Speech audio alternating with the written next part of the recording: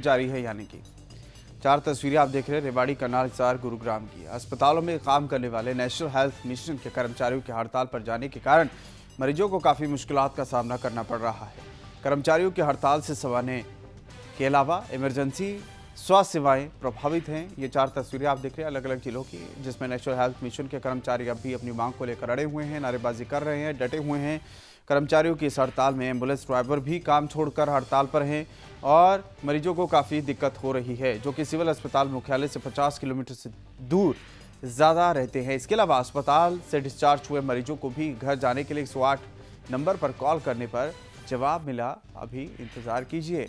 Are विभागों सहित field कार्य भी ठप पड़े हैं।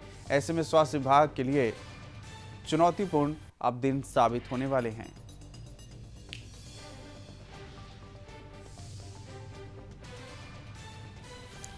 रेवाड़ी करनाल हिसार, गुरुग्राम की तस्वीरें।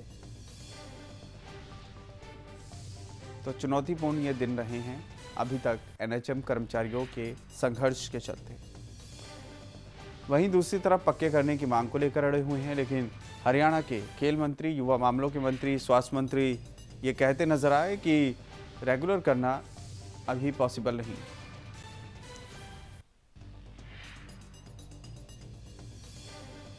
रोहतक से ऋषि वर्धन जुड़ चुके हैं हमारे संवाददाता। ऋषि, क्या स्थिति देख पा रहे हैं एनएचएम कर्मचारियों की हड़ताल के बाद?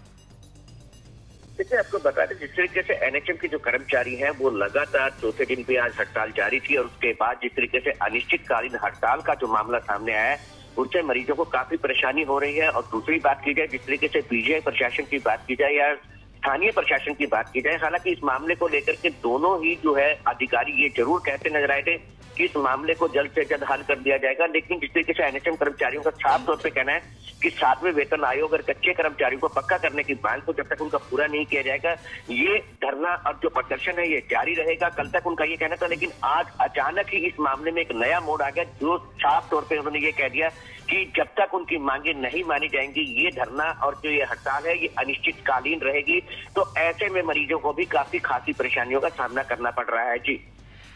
इमरजेंसी सेवाएँ भी प्रभावित है और कहा जा रहा है जिन मरीजों को डिस्चार्ज होने के बाद घर जाना पड़ रहा है, वो 108 नंबर पर जब कॉल कर रहे हैं तो कह रहे हैं कि थोड़ा इंतज़ार कीजिए। कितना? लेकिन यही सवाल जनता पूछ रही है।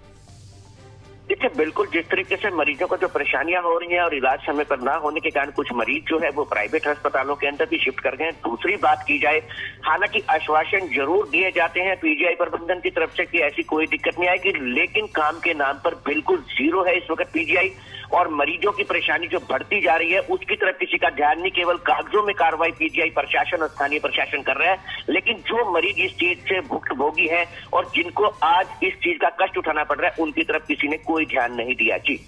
ठीक है, धन्यवाद आपका हर्ष तमाम जानकारी के लिए। तो फ़िलहाल व्यवस्थाएँ चरमराई हुई हैं, हड़ताल का चौथा दिन और वहीं ठप पड़े अस्पताल भी आप देख रहे हैं। लेकिन प्रदर्शन की तस्वीरें रेवाड़ी, करनाल, गुरुग्राम हिसार में और लगातार ये प्रदर्शन करते कर्मचारी नज़र आ रहे हैं।